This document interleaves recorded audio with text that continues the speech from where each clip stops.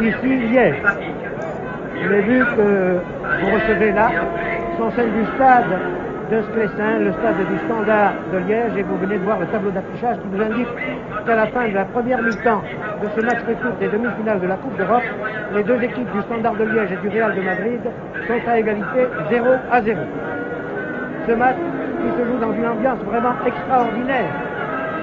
Parmi 38 000 spectateurs qui ont rempli ce petit stade tout à fait rectangulaire, situé à 7 km du centre de Liège, dans la banlieue sud-ouest, banlieue tout à fait industrielle, car tout autour du stade, il y a un décor à la buffet ou à la carzou, puisque les crassiers sont tout à fait derrière les tribunes latérales.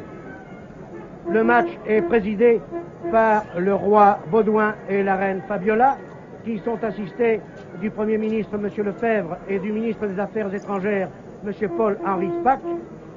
Et je vous signale également que vous allez pouvoir bien distinguer les joueurs des deux équipes puisque le Standard joue en maillot blanc à bande rouge et les joueurs espagnols du Real sont tout en bleu. À la fin de la première mi-temps, le score est nul et pourtant cette première mi-temps, sans être tout à fait enthousiasmante peut-être, a été très belle.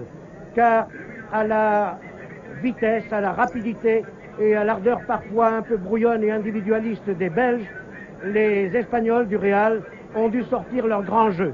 Un jeu qui, vous le savez, est fait d'automatisme et de précision, un automatisme et une précision absolument inégalables.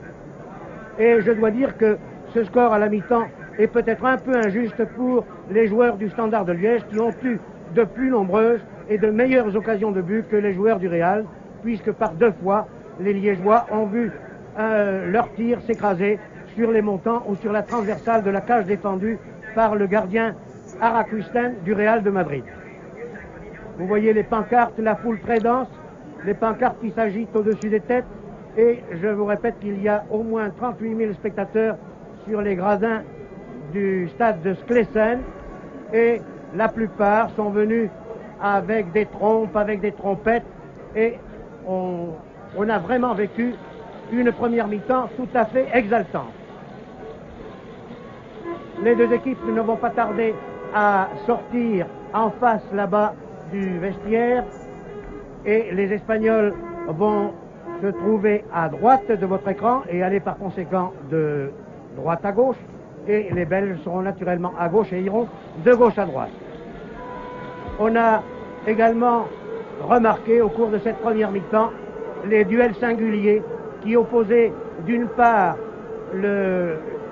l'avant-centre espagnol Di Stefano qui a joué très souvent en retrait mais qui était suivi comme son ombre par le capitaine et demi-aile belge Denis Ouf et d'autre part un autre duel singulier qui opposait le véritable avant-centre du Real de Madrid, l'ex-hongrois Puskas qui porte le numéro 10 et qui était toujours aux prises avec l'arrière central du Standard de Liège, Sprong car le réalisateur de cette émission, notre ami Marc Geniot, ne va pas tarder à vous présenter la composition des deux équipes lorsqu'elles reviendront sur le terrain ou tout à l'heure, après l'exécution des hymnes nationaux, les deux équipes ont été présentées au roi Baudouin et à la reine Fabiola.